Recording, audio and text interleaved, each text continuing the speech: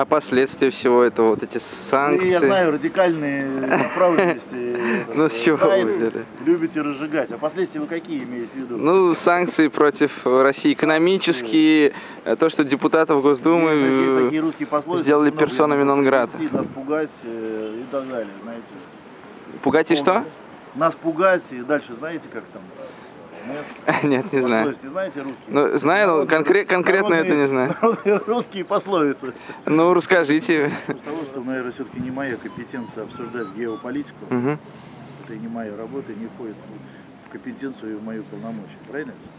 Я всего лишь маленький, такой маленький глава Ну, города. не самый маленький. Да, небольшого города, даже не миллион. Поэтому не мой полномочия. Что касается лично от меня, как от гражданина Российской Федерации, то я еще раз хочу сказать, что эта справедливость восторжествовала, историческая.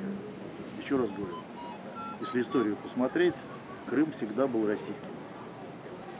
И когда в составе СССР э, Никита Сергеевич Хрущев его подарил Мгм. Украине, то я считаю, это было сделано совершенно неправильно. Вот и все.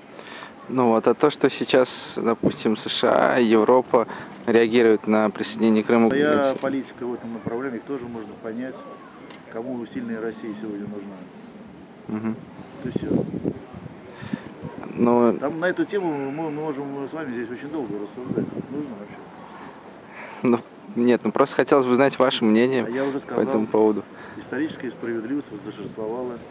Мгм. В итоге референдума общенародного крымского люди, которые там проживают, приняли решение, что они хотят войти в состав России, что и произошло.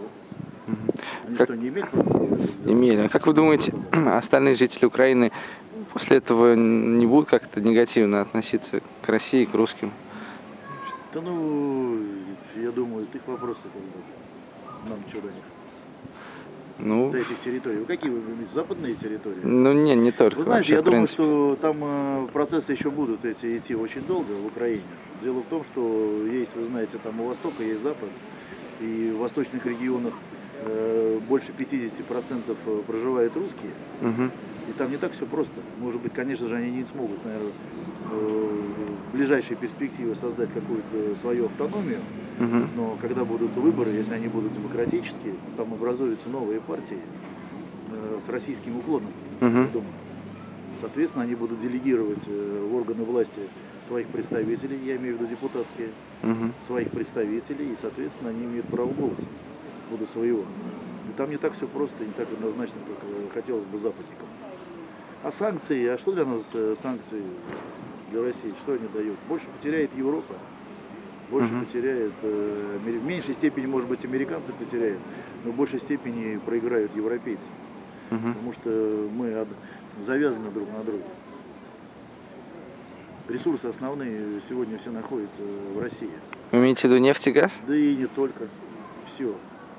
И вода в том числе. Без России Европа не сможет прожить. Все это, только еще начало Понятно. Хорошо. политической возни в Украине. Все, да?